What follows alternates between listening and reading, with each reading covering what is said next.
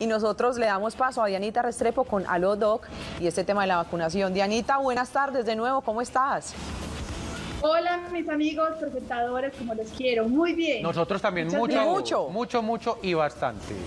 Un gusto saludarlos desde la casita porque nos estamos cuidando todos. Gracias a ustedes que están ahí, representando a todo el canal y haciendo un esfuerzo grande de verdad que lo valoramos mucho.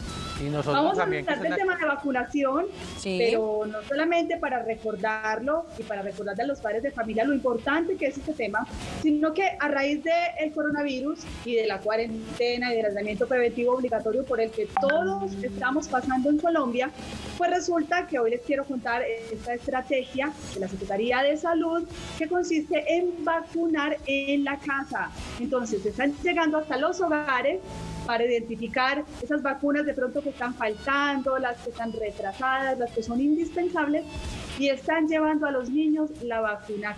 Aquí les presento esa estrategia de la Secretaría. El programa ampliado de inmunizaciones de la Secretaría de Salud de Medellín los invita a que sigan aplicándose su esquema de vacunación. Recordemos que las vacunas son una estrategia muy importante para disminuir el riesgo de enfermar o morir por 26 enfermedades que son altamente contagiosas. Aún en medio de esta situación de, la pandemia, nosotros queremos invitarlos a que sigan asistiendo a sus puntos de vacunación, que desatrasen sus esquemas y que se protejan contra estas enfermedades. La Secretaría de Salud ha estructurado varias eh, estrategias para poder acercarnos a ustedes. Uno es tener los puntos de vacunación vacunación abiertos.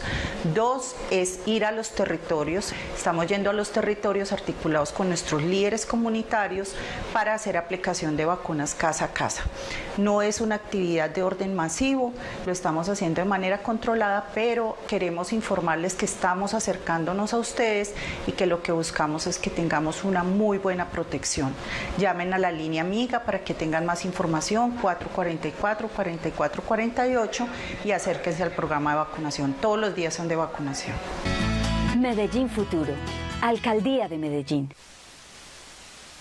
Bueno, ella, la que les estaba hablando, Ruth Alicia, es la coordinadora del programa PAI, que es el programa ampliado de inmunización de la Secretaría de Salud. Qué rico saludarla, gracias por aceptar este llamado de Alodo.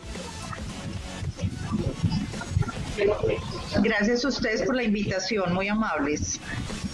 Bueno, Ruth, ustedes llevan ya varios días en esta estrategia de visitar los hogares, de llegar allí hasta las casitas a complementar estos esquemas de vacunación. Eso significa que les está funcionando. Cuéntenos cómo les ha ido en el proceso.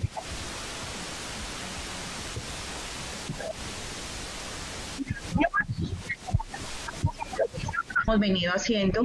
En la ciudad hay más de 100 puntos de vacunación disponibles para que las personas puedan acercarse a, poner sus, sus, esquemas al día, pero eh, viendo pues en el marco de la pandemia, nosotros hemos decidido también apoyar el proceso, ¿cierto? Sabemos que hay territorios donde el acceso es muy complejo, es muy difícil, entonces estamos seleccionándolos y nos estamos acercando con unos equipos de vacunación, comenzamos la semana pasada, hemos tenido muy buena acogida, la gente nos está abriendo las puertas, eh, con toda la tranquilidad nos pueden abrir la puerta porque estamos eh, tomando medidas de protección eh, tanto para los, el personal como para las personas habitantes de la, de la vivienda. Bueno, Ruth, pero ¿cuáles son esos sectores, eh, digamos, difíciles a los que están llegando o la estrategia pretende cubrir toda la ciudad? No, son unos, como la idea es tener tres estrategias en este momento que ahorita les cuento, nosotros estamos seleccionando unos puntos donde históricamente hemos visto que hay dificultades en el acceso. Son sitios o de mucha concentración de población o que las coberturas de vacunación durante nuestros monitoreos rápidos han dado bajitas, entonces las estamos seleccionando y priorizando. En este momento estamos por la zona, por una de las zonas de San Cristóbal, ¿cierto? Eh, básicamente por Nuevo Occidente comenzamos a hacer vacunación muy articulado con los líderes, muy organizado, como les he dicho no es algo masivo, no queremos que la gente salga, sino nosotros llegar, tocar las puertas y acercarnos a ustedes. Y eh, otra estrategia pues es acercarse a los puntos de vacunación también de sus EPS que están abiertas, incluido Metrosalud, y habilitamos una cuenta de WhatsApp para que los papás o los cuidadores nos manden los carnets de vacunas para nosotros revisárselos y les hacemos la devolución. Si tienen el esquema al día o si tendrían que ir a vacunarse, los orientamos a dónde podrían ir. Bueno, ya Ruth enseguida le preguntó cómo es paso a paso, eh, digamos, este proceso para que lo entendamos y lo apliquemos desde casa. ¿Qué les parece si recibimos a esta hora una llamada? Por supuesto, me encanta. que se comunica con Alodoc. Sí, claro. La línea telefónica, repitamos la de Anita, 268-6033 para que se comuniquen con nosotros y recibimos la llamada, por favor, Diana. 268-6033, ¿lo dije bien? Sí, señora, muy bien. Adelante con esa llamada. Aló, sí, buenas tardes. ¿Con quién hablamos? Sí, buenas tardes. Habla con Marta Cecilia Lopera de la Organización Altamira. ¿Cómo está? Venga, Marta Cecilia, perdónenos, pero a todos los hemos recibido con aplauso. Usted también el aplauso que llamó aquí. Qué rico que nos llame, qué rico que esté aquí. Esto es el abrazo que le podemos dar, eh, la gratitud que tenemos porque nos acompañe. Dianita, la estás escuchando para que puedas recibir la llamada de Alodoc. Bueno, muchísimas gracias.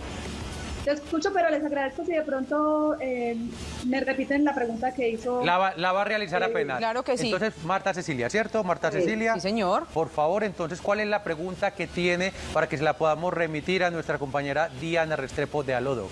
Perdón, yo en este momento no tengo ninguna pregunta. Solo quiero agradecerles a ustedes que nos estén entreteniendo de esta manera tan buena y agradecer a Telemedellín por estos programas tan deliciosos que nos están presentando en estos momentos del encierro. Muchas gracias. Muchas gracias a usted. otro, otro abrazote. Yo, Diana, no tenía pregunta, pero creo que fue muy importante esta. Pero, ¿sabes que Esos mensajes dan mucha felicidad. Yo agradezco mucho que estén ahí, acompañándonos también del otro lado, porque esa es la idea, que ustedes se queden en su casa tranquilos, disfrutando con sus familias, y nosotros los entretenemos y los informamos. Sí, señora. Vamos a despedir a doña Marta.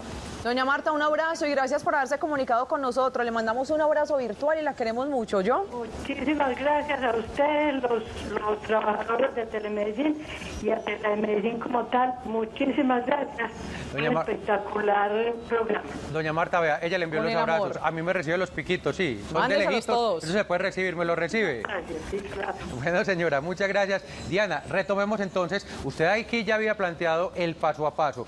Yo le quiero pedir a usted un favor y es que en la comunicación con Ruth, ahorita hubo un momento en el que tuvimos como un poquito, pues como mala señal. Y antes de que usted vaya con el paso a paso, porque ya lo estableció, ella estaba mencionando una línea de WhatsApp precisamente donde las personas pueden enviar la fotografía de su carné y los funcionarios revisan las fechas le devuelven con respuesta si está bien, las, si, de pronto tienen pendientes vacunas o algo así. Eso lo entendimos bien antes de que usted explique el paso a paso para que no nos quedemos con ese vacío en la información y otra vez que nos dé la línea de WhatsApp, por favor. ¿Le parece, Diana? Perfecto, adelante, Ruth. ¿Nos recuerdas cuál sería entonces la línea? Pensaría Andrés que es el primer paso entonces.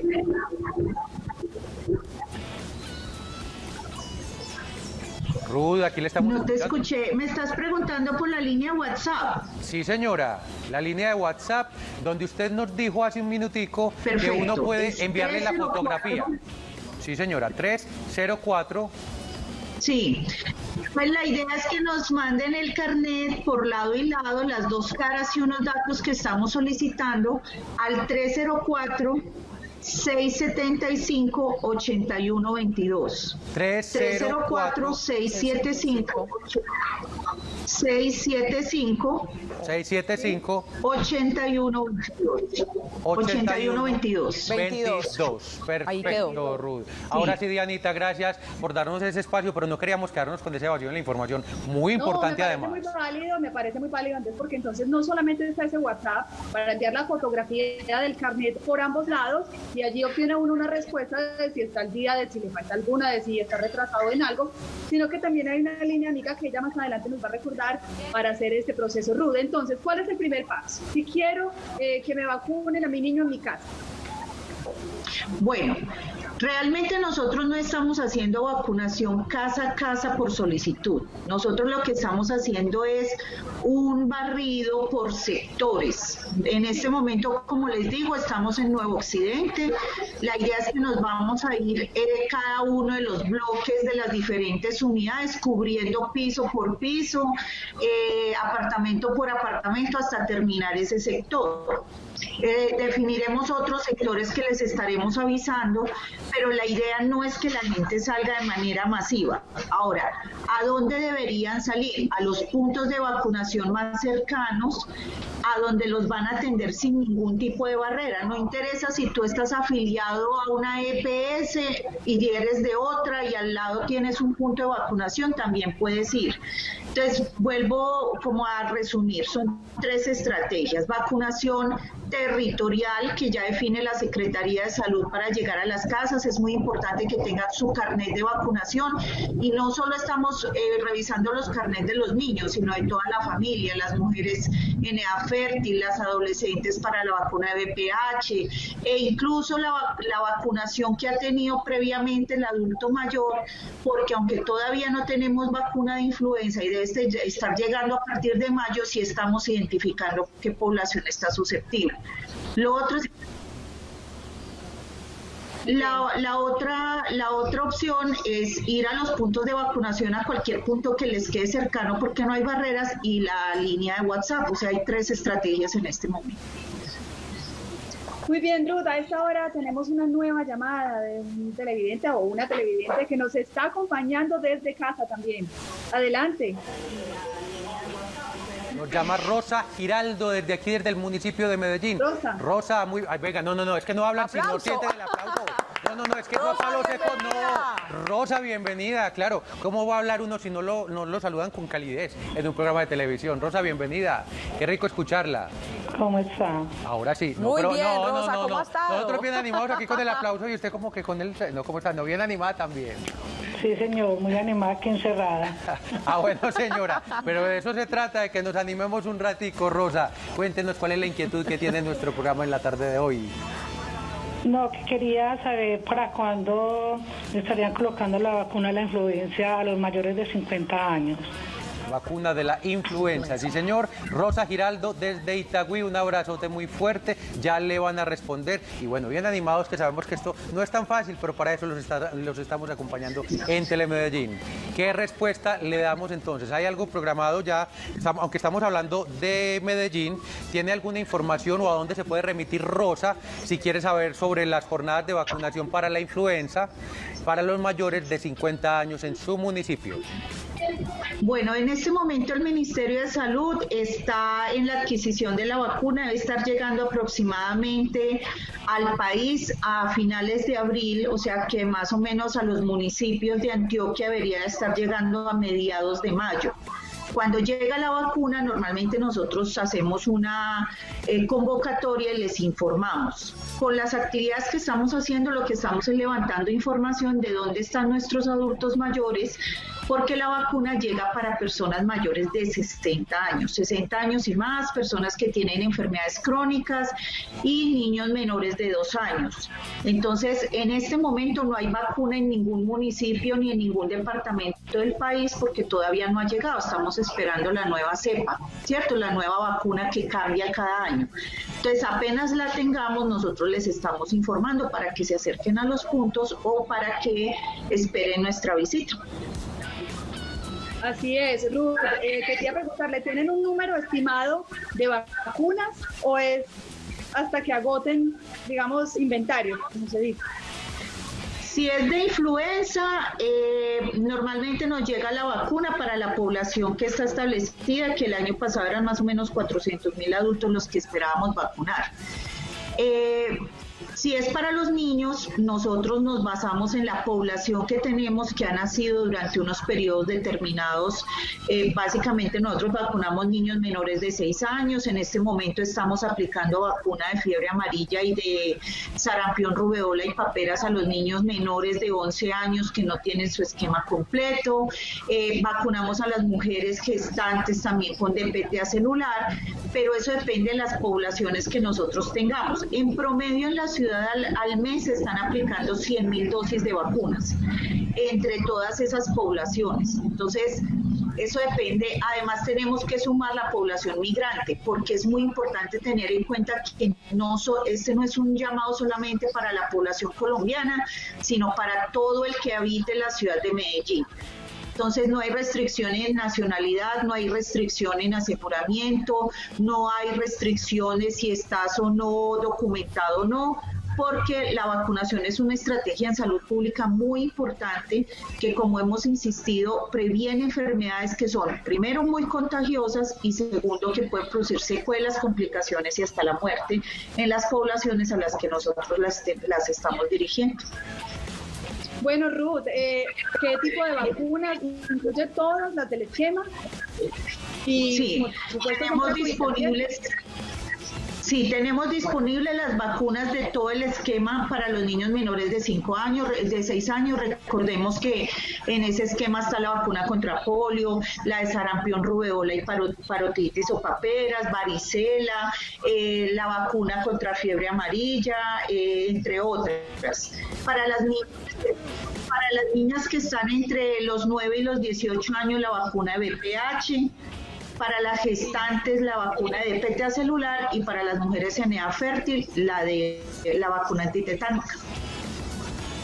Ok, bueno, Ruth, pero pasa lo siguiente y es que a raíz pues, de la cuarentena y de que todos estamos en la casita, ¿es posible salir? Porque ahorita usted mencionó que siguen abiertos esos sitios de vacunación y que podría asistirse allí, eh, no sé, de pronto con algún permiso especial o, o, es posible Mire, Sí, hay algunas excepciones para el tema de salud, como todos sabemos.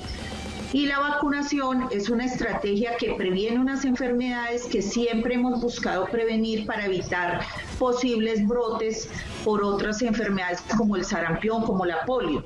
Entonces es muy claro para el sector salud que la vacunación es una prioridad sí que es importante que llamen algunas EPS, por ejemplo, están asignando cita. Entonces, es importante para también cumplir pues como con todas las medidas de protección que estamos eh, de las que estamos hablando, la idea no es que se nos aglomeren en los puntos de vacunación, pero eh, como estrategia importante vacunación hay que darle continuidad. Entonces, aunque estamos en la cuarentena y lo debemos cumplir, hay que quedarnos, hay que quedarnos en la casa, el llamado es a no dejar atrasar los esquemas de vacunación, porque hay que, hay que tener un equilibrio entre lo que es en este momento la cuarentena y el cuidado frente al, al COVID, pero también con relación a cumplir nuestros esquemas y tener nuestros niños protegidos.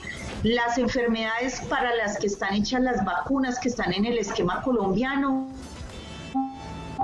eh, previenen enfermedades que realmente le producen enfermedad y complicaciones a ese grupo poblacional, ¿cierto? Entonces, con todas las precauciones, con todos los cuidados, nosotros estamos haciendo la vacunación. Bueno, damas, les quiero pedir un favor a Diana, permítame un momentico que la voy a interrumpir un momentico a usted, Diana, y a Ruth, porque quiero eh, integrar un poquito los mensajes de nuestros televidentes mediante el Facebook. Y creo que este no es un tema relacionado con eh, lo que estamos hablando hoy, pero creo que la persona más cercana a darnos cualquier tipo de respuesta la tenemos aquí y es del ente municipal. Entonces, ya, ya van a entender por qué le voy a preguntar. En primer lugar, le leo los mensajes para que sepan que los tenemos aquí muy presentes, además de la línea 2, 68 60 33 para que nos llamen a preguntarnos y para participar y simplemente para que nos den mensajes a sus seres queridos, pues también nos escriben por eh, la señal de Facebook. Nos escribe, por ejemplo, Víctor Alexander Andrade Castro, gracias por la información. Nos escribe Santiago Londoño Restrepo. Os veo desde España, desde Torrevieja. Y esta es una pregunta que, aunque no tiene que ver con vacunación, por favor, Ruth, y esperamos que nos entienda, no tenemos cómo orientar a esta persona y se ve que está un poquito preocupada. Paola, Paola Álvarez nos dice, buenas tardes, mi abuela tiene una duda. Ella es hipertensa y hace días está tratando de comunicarse con la farmacia de su entidad privada. Aquí dice el nombre, es una entidad privada, que no la vamos a mencionar aquí, pero no contestan. Ella cómo hace para conseguir sus medicamentos, ya que son muy caros, no hay presupuesto para hacerlo y obviamente estamos con esta contingencia. ¿Hay algún ente regulador desde la institucionalidad, desde la alcaldía de Medellín o de pronto alguna orientación que se le puede dar a estas personas que no pueden conseguir sus medicamentos y como ellas son hipertensos o tienen alguna urgencia y que de pronto ustedes lo puedan orientar desde la Secretaría de Salud de Medellín, Rud? Bueno, eh, todos sabemos que el ente regulador y de control para las aseguradoras es la Superintendencia Nacional de Salud, pero creo que los primeros pasos es tratar con el asegurador, si no, nosotros tenemos una línea, que es la, línea amiga 444-4448, donde podemos orientarlos y mirar a ver de qué manera eh, podemos eh, hacer conexión de pronto con el asegurador o informarle al asegurador del caso. Entonces, en este caso, quisiera pues como invitar a la usuaria que por favor eh, se comunique con esa línea, nos da todos los datos, nombre, teléfono, modo de contacto y su aseguradora para mirar a ver si podemos de pronto ayudarle de esa manera, ¿cierto? Porque las, incluso las aseguradoras se han adaptado en este momento al tema de la virtualidad para poder ayudar, pero sabemos que a veces se congestionan las líneas, entonces si, si quiere nos puede contactar a la, a la línea amiga y allá intentamos a, apoyarla en este tema. Oiga, Ruth, si vio, siempre me ha dicho mi mamá, pregunte, deje la bobada, pregunte, que lo peor que puede pasar es que no haya respuesta, pero usted la tenía. Buena Gracias por eso. Entonces, línea amiga, 444-4448, Paola Álvarez, ojo pues, que ahí le pueden orientar o de pronto le pueden decir cómo comunicarse con eh, esta prestadora de servicios de salud con la que no se ha podido comunicar. Vamos con Niñas, antes de que ustedes sigan, tenemos una llamada por si tiene alguna pregunta referente al tema y es Lucía desde Envigado. Lucía, buenas tardes. Con aplauso sin Bienvenida aplauso a para Lucía. en casa Con aplauso también, Lucía. Bienvenida, Lucía. Escuché toda la propaganda. ¿Cómo has estado, Lucía? Bienvenida. Muy bien, muy bien. Tengo 77 años, vivo completamente sola. Sí. Muy bien que distribuyo el tiempo, soy muy optimista. En la mañana veo la misa, desayuno, me baño, hago ejercicios. Al mediodía ya tengo el almuerzo listo, converso con mis hijas por teléfono Eso. y con mis nietos. Hago otra vez ejercicios, leo la prensa, leo un libro y distribuyo bien el día. Soy muy optimista y sé que todo va a salir muy Lucía, bien. y- la noche ¿Y se le siente? hacemos- Y ¿Ah? se le siente esa Lucía. vitalidad en esa voz, además, porque antes le quedan faltando horas al día para poder hacer tantas cosas, Lucía. Pero espere un momentico, llamado de atención para Lucía en Envigado. ¿Por qué? Porque le hace falta una actividad. De ahora en adelante usted va a poner en su programador que de 3 a 5 y media de la tarde se debe conectar con nosotros en Quédate en Casa con TM para que nos escriba, para que nos llame, para que nos acompañe todas las tardes, ¿le parece? Claro que sí, yo, yo también los veo, por eso pregunté. Eso, y acuérdese- programa Quédate en casa. ¿Cómo? Lucía, acuérdese que también tenemos la Eucaristía en nuestro canal por las Sí, a mañanas las también. Ah, no, no, no, no. Ella ya lo ¿Qué dijo, que era lo primero. Antes de bañarse Ya lo dijo. sabe todo, ya ¿Sí o sabe no? todo, Lucía. Mucho autocuidado y a quedarse en la Y en casita, la ¿yo? noche, y en la noche hago conferencia con mis hijas de Estados Unidos, mis nietos, mis yernos, y conversamos una hora y pasamos muy bien. Y ya me acuesto temprano y, y bien, soy muy optimista, todo va a salir muy bien. Todo va a Sí, salir muy Lucía, bien. y le va a salir mejor. salir, y esto va a servir mucho para que reflexionemos sobre todo tantas cosas que están ocurriendo, pero hay que reflexionar. Sí, Sí, señora. señora. Lucía, y todo va a salir mejor si conocemos el esquema de vacunación. ¿Usted cómo está con las vacunas? ¿Tiene pregunta para Diana y su invitada en la tarde de hoy No. en el ADOC? No, no, no estoy con las vacunas. Yo soy una persona de 77 años. Sí, señora. Me pongo únicamente la vacuna de la influencia y no más, pero no tengo tampoco menores de edad que mm, vayan a vacunación. Bueno, señora. Igual está muy Pero pendiente, ¿o yo? A, a- a cuando yo no estoy, cuando no, es- cuando, como no, Yo siempre, por lo regular, yo estoy en el centro de mayores y soy muy activa y hago ejercicios y tengo un grupo muy bueno. Venga, Lucía, le voy a pedir un favor. Quédese ahí porque Diana creo que antes de despedir a la invitada le quiero comentar algo. Diana, ¿cierto que le ibas a decir algo a doña Lucía? Sí, yo sí le quiero decir que es admirable. la actitud y el ejemplo que usted nos está dando muchos en las casas.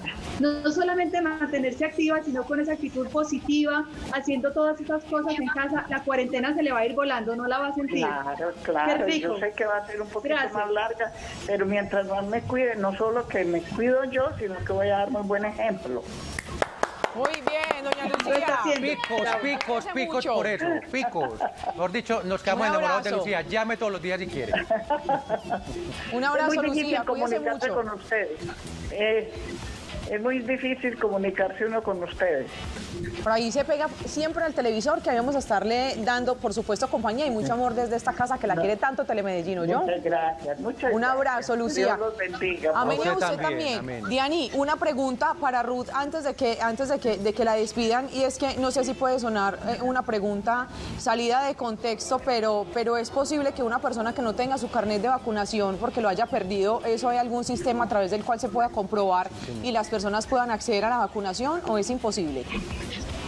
Claro que sí, dentro de los mitos que existen es que no vacunamos a quien no tenga carnet y realmente Colombia ha avanzado mucho en un, en un sistema que tiene, se llama PayWeb, donde hace más de 5 o 6 años hemos estado ingresando información de antecedentes vacunales. Entonces, toda persona que necesite vacunas o necesite que le revisemos su, su esquema de vacunación, aunque no tenga carnet, se puede acercar.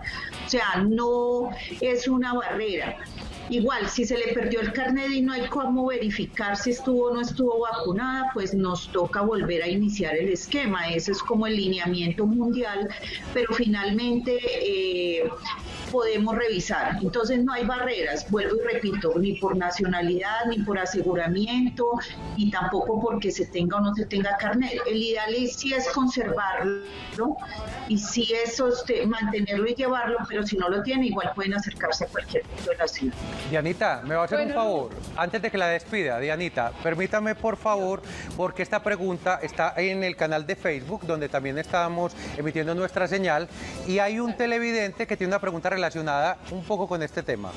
Dice Juan Pablo Muñoz, hola, una pregunta. Si nunca me he vacunado, aparte de las vacunas de niño, ¿qué hago? El seguro no vio nada, pero entonces para que le resumamos rápidamente ese proceso para quienes no se vacunan desde niños y con eso despedimos. ¿Le parece, Dianita?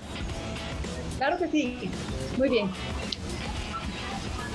Bueno, hay algunas vacunas que se aplican a los adultos, eh, que el ideal es que eh, nos inmunicemos, por ejemplo, la, influenza que debe ser cada año, eh, vacuna de hepatitis B si no tenemos el esquema, fiebre amarilla si vamos a salir del país, aunque ahora en cuarentena no es posible, pero cuando esto se supere probablemente vamos a volver a viajar. Entonces, hay algunas vacunas que están en el que, que se los lo deberíamos aplicar los adultos, pero eso ya no está en el esquema de vacunación colombiano gratuito. Entonces, lo que debemos hacer es buscar puntos de vacunación donde ofrezcan ese servicio y hacer aplicar la vacuna ya de manera particular. Para los adultos en este momento lo que tenemos es fiebre amarilla en el caso de los viajeros, eh, también para viajeros a nivel de Colombia, por ejemplo, cuando tengan que viajar a zonas endémicas para fiebre amarilla, tétano para mujeres en edad fértil y la DPTA celular para las eh, mujeres embarazadas, que el ideal es que se la apliquen. O sea, todas las mujeres embarazadas deben aplicarse DPTA celular después de la semana 26 de embarazo. Bueno, está resuelta entonces esa pregunta de Andrés. Ruth, gracias por toda la información que nos brindó esta tarde. Qué maravilla lo que están haciendo. Mucha suerte en este proceso y ojalá pues quedemos todos con nuestro carnet de vacunación al día. Así sea un proceso lento, vamos a tener la paciencia, pero gracias por llegar hasta las casas. Dianita, usted nos va a hacer un favor. A mí me da pena con ustedes, pero esto es televisión y hay que aprovechar a los televidentes. Usted nos va a regalar una ñapita con la invitada. ¿Sí, Diana? Pero por supuesto, es que hay llamada, es que hay llamada telefónica 268-6033 y como no le respondemos a los televidentes. Tenemos llamada por esta línea telefónica para Ruth, ¿qué le quiere preguntar a nuestra? Nos llama Carolina Cadena desde Los Colores. Carolina con aplauso y con bullita pues también. bienvenida. Rápido, por favor, porque ya tenemos que ir a un corte. ¿Cuál es la pregunta que tiene Carolina para Ruth esta tarde? Eh, para felicitarla, yo soy la hermana de ella. Y yo el sobrino. Y que está el sobrino, la estamos mirando. eh, que muchas felicitaciones, que es una enfermera muy activa, muy trabajadora y que gracias por preocuparse por todos y, los. y que también se acuerde del Bugatti. Ay, no los comemos a picos a todos. y que gracias por preocuparse por toda la ciudad, porque ella es la que maneja todo el programa de vacunación y es muy dedicada siempre. Eh, ella madruga a hacer sus trabajos, a estar muy pegada a su, a su labor, muy entregada y muy pendiente de todos. Y muy De orgullosos todos, de la estamos, sí, familia, de, de todos, o sea, ella nos revisa los carnets, está pendiente de toda la familia. La mamá, de la hermana, del hermano, del sobrino, de todo. Bueno, ya sabemos entonces, Rudalicia. Ahora sí, Dianita, la despedimos y si vio que era muy importante Esto no recibir estaba esta llamada. planeado. No estaba planeado, esto fue de la vida real. Se nos encharcó el ojo, Ruth. Gracias por ese compromiso. Yo. Me encanta, sigan, sigan llamando y sigan comunicándose. Ruth, gracias nuevamente. Vamos a un corte y ya regresamos.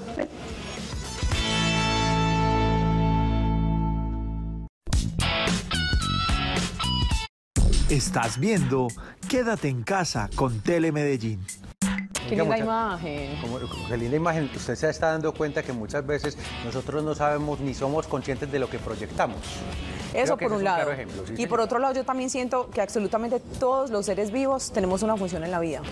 ¿Sabe por qué se lo estoy diciendo? Porque en estos días, eh, pues con todo esto de que estamos en la casa y que los animalitos han tenido la posibilidad de salir en manada, pues veía una zarigüeya con sus crías y no sabemos del papel tan importante que cumplen las zarigüeyas para el medio ambiente, por ejemplo, Renji. Eso me parece muy bonito. Hay veces decimos, qué horror, los gallinazos, no sé qué, pero también cumplen una función muy importante para el planeta, así que a cuidarnos y valorarnos entre todos porque absolutamente todos los seres vivos tenemos una función en el mundo. ¿Viste qué reflexión? No, está muy profunda y me encantan esas refle- reflexiones profundas porque de eso se trata. No, la verdad es de compartir todo lo que pensamos. Ustedes también nos pueden llamar a compartirnos sus reflexiones, lo que piensan y lo que quieren saber en esta tarde.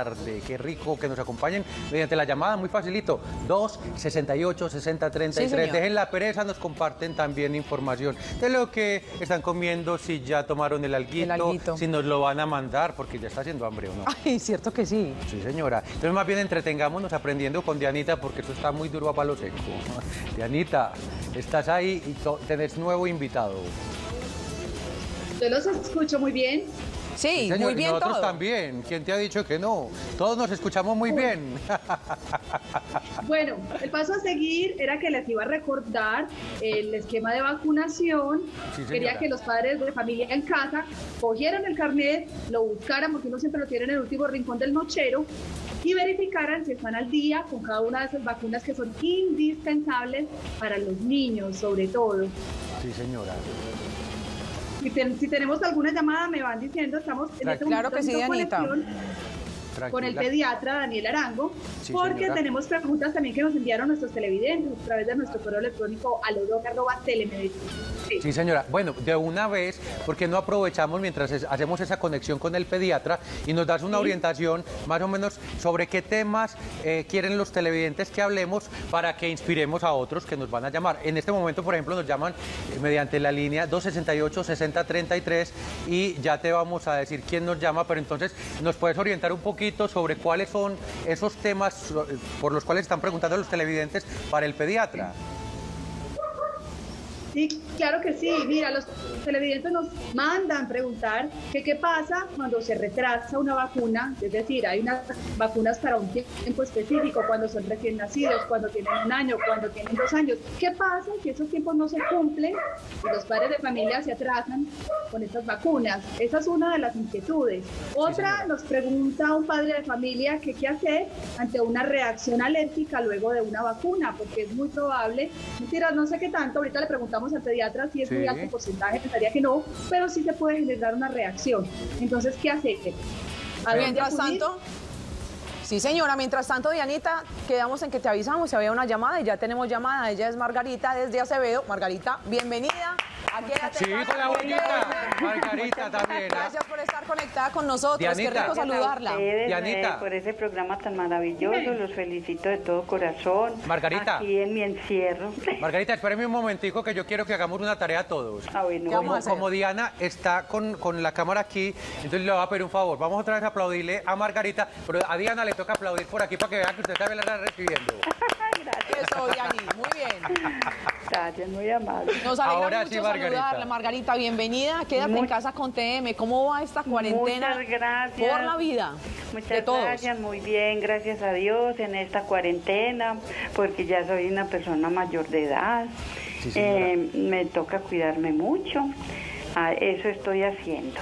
Y dando muchos consejos a la familia, a las amistades, a los vecinos Eso. y todo, pero siempre hay gente que mm, mm, Eso es muy, verdad. muy rebelde para cuidarse. Que creen que esto es jugando y que sirva, Sí, Margarita, sí. su mensaje también para decirle sobre todo a los pelados, a los más jóvenes. Sí, En serio, sean más conscientes. Esto Es no es un juego. es verdad No solamente son los mayores de edad los que, los que se ven perjudicados por es esto. Que, es que con esta, con esta pandemia estamos es, peligrando todos, Todos. jóvenes, niños y, y- y personas así como, como la, la edad mía. Mejor dicho, no, yo estoy muy preocupada siempre porque uno brega por aconsejar las personas, pero eso no, mejor dicho, eso, eso como que lo están tomando en charla y ni ninguna Sí, charla. A mí me da mucho susto eso porque porque que no, yo digo que ahí resulte un familiar de uno, un vecino, al- alguien así no sea Cercano. nada con- no, no, eso eso es preocupante para para todo mundo. Y bueno, los felicito por ese maravilloso programa. Sí, Margarita. Y tengo una inquietud. Sí, por favor, para Diana. Diana muy atenta que Margarita va a transmitirle una inquietud eh, Sí. sobre el esquema de Ah, vacunación, sí, sobre el tema de la porque, vacunación. pues no me pude comunicar para, para preguntarle a la, a la señora Ruth. A Ruth. eh, a Ruth, sí. Señora. Mm, bien, estoy muy preocupada. Tengo una, una bisnieta de dos añitos. Y, resulta que, que no sé por qué la mamá no le hizo colocar la vacuna de los 18 meses. Y esto me tiene a mí, pero preocupada, preocupada. Y yo, el año pasado, mm, yo le decía mucho, haga vacunar la niña, cuando resulta que es una cosa muy rara, muy rara. Cada que, que, que se ponía de acuerdo con, con la mamá, con mi hija, pues eh, la, la nieta mía con, con la hija, para ir a llevar la niña a vacunar, ¿Cómo les parece? Es una cosa pero rara, rara que yo no me explico. Esa niña amanecía ardida en, en fiebre y una gripa y una tos. Y esa niña sufre esa gripa a repetición, me da mucho susto también. Yo no sé cómo se llama la vacuna porque pues ella no vive conmigo, la, la nieta para preguntarle cómo se llama la vacuna y la llamé al celular y estaba ocupado, entonces no le pude preguntar antes de, de hacer esta llamada. La de die- los 18 meses, imagínense, ya Listo, tiene más- Margarita. Tranquila que vamos a estar para resolverle todas sus inquietudes. Le mandamos un abrazo virtual. Cuídese mucho. Diani, es tu espacio, por favor, para que hablemos con el pediatra. Muchas a ver qué nos gracias. dice. Pues, en unos segunditos le preguntamos al pediatra qué sucede si no se la ha puesto. Yo sí tengo aquí la información eh, del esquema de vacunación y me imagino que doña Margarita se está refiriendo, dice que a los 18 meses es la vacuna de difteria, to- tosferina y tétanos, polio y fiebre amarilla. Esas tres caben en esa edad. Entonces ya en unos segunditos le preguntamos al pediatra Daniel y que él nos conteste entonces cuáles serían esos efectos o si todavía está a tiempo. Yo pienso que sí. Yo pienso que hay vacunas que, pues que digamos que si no se ponen en el momento, tienen algún rango de tiempo en el que se podía hacer. Sí, porque en este momento entonces estaría pasada más o menos unos seis meses, ¿cierto? Es lo que, lo que entendemos, porque ya tiene Eso dos que- años y lo tenía que haber hecho a los 18 meses. Entonces, que también establezca cuál es ese rango, ese periodo en el que de pronto se puede pasar un poquito, aunque lo más responsable es que se cumpla el tiempo, tiempo. pero entonces, de pronto, ¿qué alternativa tiene si todavía no lo ha hecho y, y- y lo puede cumplir por estos días, Dianita? ¿Le parece? yo también quería, quería saber, eh, eh, Diani, ahorita que lo tengamos a él, si por equivocación una persona eh, le ponen una vacuna más de una vez por, por algo que haya pasado, eh, ¿será que eso tiene alguna contraindicación para la salud? Pues será malo. ¿Alguna repercusión? Pues preguntémosle, Liliana. Lo voy a anotar aquí en mis preguntas.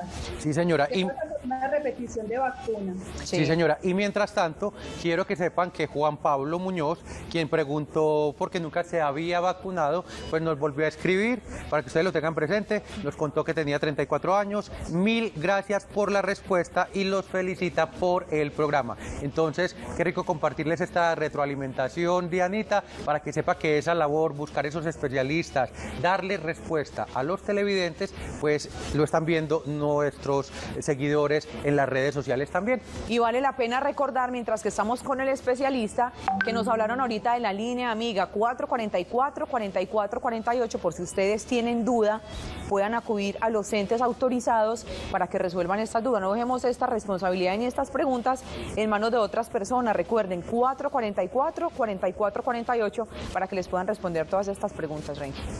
bueno, Juliana y Andrés, ¿qué les parece entonces si vamos recordando cuál es ese esquema de vacunación obligatorio, necesario? Por favor. Una es el mejor antídoto contra cualquier enfermedad.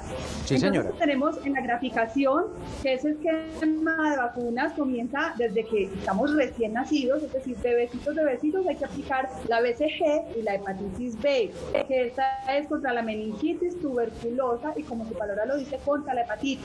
Pasamos a los dos meses, que es la primera dosis de una vacuna que se llama pentavalente, que consiste en difteria, tosferina, tétanos, influenza tipo B, hepatitis B, polo, rotavirus y neumococo. Es la primera dosis de todo esto que les mencioné y están en ese rango, dos meses de edad. Luego pasaríamos a los cuatro meses. Estamos hablando de difteria, tosferina y tétanos, la segunda dosis, igual que influenza tipo B, la hepatitis B, la polo, rotavirus y neumococo, es decir, igual que a los dos meses, pero esta sería la segunda dosis. Espero que en sus casos estén con carnet en mano, chuleando cada una de estas vacunas.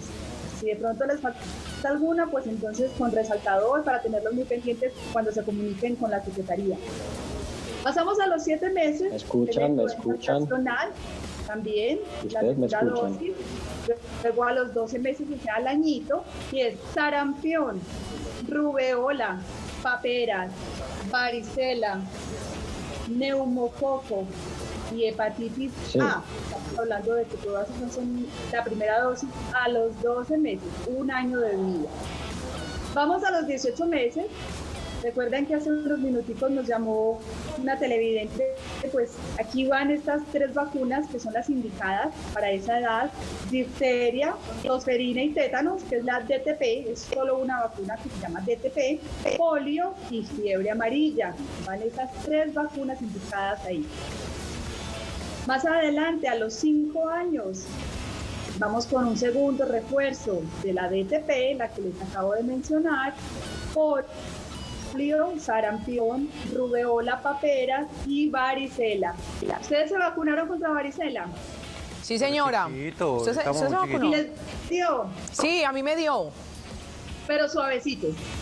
A mí no me dio. Yo creo que a mí me dio, a mí me dio fuerte. Y dicen que una persona que no le haya dado le podría dar, pero ya a, la edad de adulto mayor sí le puede dar. Pero ¿por qué me estás No, pero dicen, pero de verdad. pero si se han vacunado, seguramente les dio muy suavecito. Sí, Niños, a los nueve años Vamos con el virus del papiloma humano. Mire, qué importante esta vacuna. Nueve años.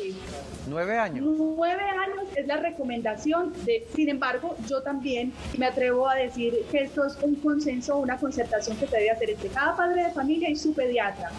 Yo, por ejemplo, en mi caso particular, tengo dos niños de 13 años, de 11 años, y me dice, me acaba de decir justo hace unos días, es el momento es el momento. Esta es la vacuna que nos va a prevenir el cáncer de cuello uterino. Ah, perfecto. y de 13 años, ¿cierto? Ha estado muy fuerte la campaña. Perfecto. Y bueno, ahí quería hacerles un corte porque ya de ahí en adelante son las vacunas para adultos y adultos mayores. No sé si está listo nuestro pediatra ya en la otra línea.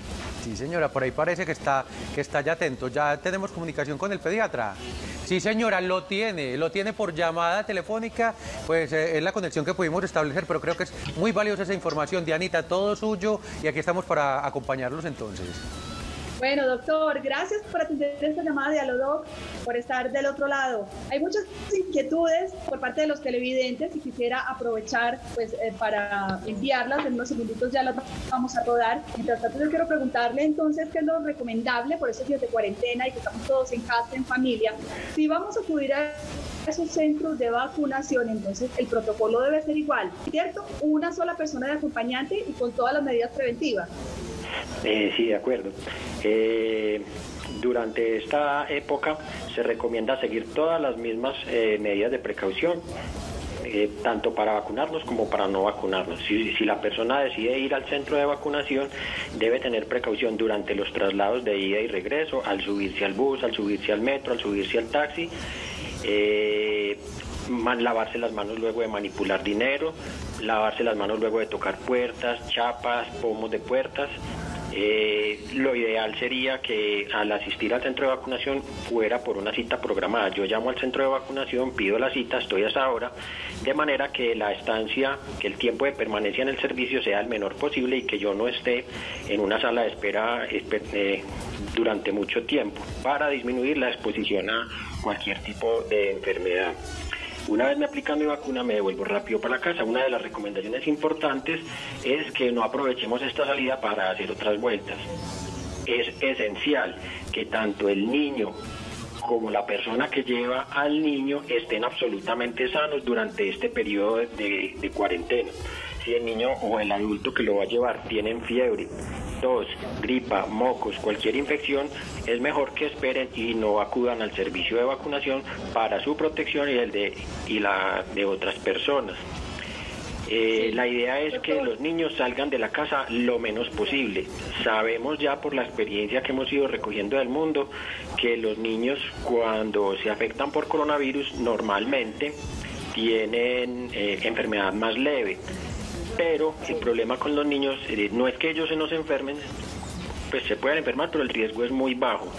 La inmensa mayoría de personas que han fallecido por coronavirus en el mundo entero, sobre todo la experiencia que vemos en Italia, en España, son mayores de 60 años y tienen enfermedades. Los niños no presentan tanto este riesgo y para ellos normalmente es una enfermedad mucho más leve, pero lo que tenemos que tener mucho cuidado es que los niños le pueden transmitir la enfermedad a otras personas que vivan en su casa. De ahí conecto con otra recomendación. Que... Doctor, por eso el cuidador debe tener menos de 60 años también. Eso es otra menos de las recomendaciones. La persona que debe, debe tener menos de 60 años, no debe sufrir de la presión, ni de diabetes, ni del corazón, ni de los pulmones. Debe ser una persona sana, debe ser una persona sana.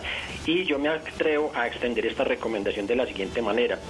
Si la persona que lo va a acompañar es, eh, por ejemplo, tú, y vas a llevar a tu niño, eh, pero en tu casa vive el abuelito que tiene 65 años y está enfermito, mejor esperemos para vacunar. Quiero dar una tranquilidad a las personas que nos están escuchando y es que las vacunas que se apliquen no se pierden. Si el niño, por ejemplo, llevaba, tiene cuatro meses y llevaba al día las vacunas hasta los dos meses, las que ya se le aplicaron no se perdieron. En el momento en que se acabe la cuarentena nos vamos a acercar lo más pronto posible al centro de vacunación y vamos a continuar donde íbamos. Ay, qué bueno, doctor, que nos contesta. Eh, esa era una de las inquietudes que teníamos. Vamos a escuchar las que tienen los televidentes, ¿le parece? Claro, escucho. Vamos con la primera. Yo quisiera saber qué sucede si se me pasa alguna vacuna. No tienes ningún problema. Eh, simplemente en el momento en que tú acudas al centro de vacunación se continúa en el punto donde estés. Si al niño le falta una vacuna nos podemos desatrasar en cualquier momento. Perfecto. Vamos con otra inquietud también. Claro. Doctor, ¿qué debo hacer si mi hijo tiene una reacción grave por una vacuna? La inmensa mayoría de reacciones, las más graves, ocurren en el puesto de vacunación. Entonces, eh, esto para decir que la inmensa mayoría de reacciones que ocurren secundarias a una vacuna son leves y usualmente eh, no tienen, eh, suceden tiempo digamos el día o los dos días después, pero las que son graves ocurren casi siempre de inmediato, en los primeros 15, 30 minutos. Es por eso que normalmente en tiempos de vacunación común y corriente, normalmente a la persona la dejamos hasta 30 minutos en la sala de espera, por si sucede cualquier cosa, poderle brindar primeros auxilios. Pero yo quiero dar una tranquilidad importante y es que los medicamentos son los que las vacunas son los medicamentos más seguros que existen a los que más investigación se les dedica, a los que en los que más se invierte para tratar de que sean lo más seguro, porque nadie sano quiere que enfermarse después de que le aplique una vacuna. Entonces, por eso se es tan exigente en los estudios y en las investigaciones con las vacunas para brindarle a las personas tranquilidad de que son seguras. La inmensa mayoría de veces que se aplican vacunas no hay efectos secundarios. Entonces, hay algo que es importante aquí explicarle a la comunidad y es que ningún medicamento está exento de riesgos. Todo medicamento tiene unos riesgos y unos beneficios. Y si yo me vacuno, corro unos riesgos y si no me vacuno, corro unos riesgos. A mí esta pregunta me parece interesante pero de cuidado porque si le hacemos mucho énfasis a los riesgos de las vacunas, también tenemos que hacer énfasis en los riesgos de no vacunar. Cuando yo me vacuno me puede dar, por ejemplo, una alergia grave, uy, y eso sería indeseable. Yo no he visto todavía la primera, pero sí han documentado casos. Ahora bien, si yo no me vacuno, ¿a qué riesgos me estoy exponiendo? Si yo no me vacuno, puedo sufrir, el niño puede sufrir de meningitis, de neumonía, de diarrea, de parálisis, entre otras enfermedades. Y en este momento, eh, en el mundo todavía hay varias enfermedades que están ocurriendo. Se ha visto que en época de guerra o en épocas de desastres aumentan enfermedades de las que se pudieran prevenir con las vacunas. La gente a veces baja la guardia porque como las deja de ver, entonces piensa que no existen, pero ya están ahí dormidas esperando que nosotros les demos la oportunidad de resurgir cuando dejemos de vacunarnos. Perfecto, doctor. Le agradezco muchísimo todas estas respuestas a las inquietudes que tienen los televidentes. Gracias por estar del otro lado y aceptar esta llamada de diálogo. Sí. Diani, muchas gracias a usted también por conectarse hasta ahora con nosotros. Un abrazo. Seguramente toda esta semana nos vamos a estar viendo para acompañar a nuestros televidentes. ¿Le parece? ¿Se anima? Sí, me animo. Yula, yo quiero despedir con una frasecita, con una información que me quita muy poquito tiempo y es a propósito de vacunas y de este tema que tratamos hoy.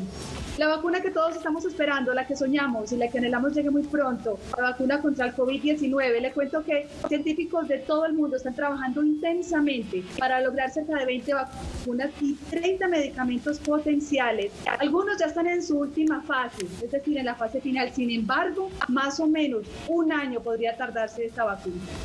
Sí, señora. Así que las lecciones, pronto y todo eso pase pronto. Aquí todos junticos, las lecciones que nos deja este coronavirus, vamos a verlas entonces. Pero nos vamos o todavía no. Sí, señora. Vámonos, nos vamos con eso, los dejamos. Un abrazo grandísimo y por supuesto los esperamos mañana a las 3 de la tarde para que sigamos muy conectados.